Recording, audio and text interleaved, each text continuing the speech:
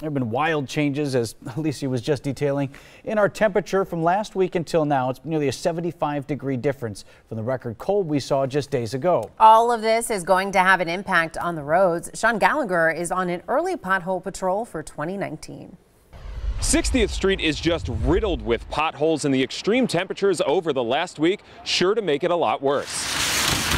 Driving down 60th Street can be like driving on the surface of the moon. Concrete craters and road ruts dot the street. Worse than most places I can think of. How much do you hate potholes? I hate them. Thomas Freeman fell victim to potholes last year. Lost a wheel last year. She just cracked. Just bang. How bad do you think potholes will be this year?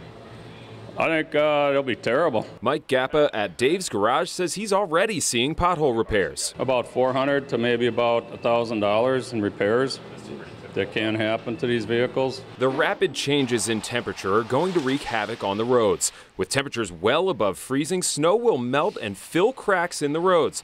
Then temperatures will be below freezing this week, and the water will expand by about 10% when frozen, causing instability in the ground and creating potholes. Uh, I think we'll be seeing a lot more repairs coming in next week. Even the smaller potholes are going to make a big effect on the car's front end.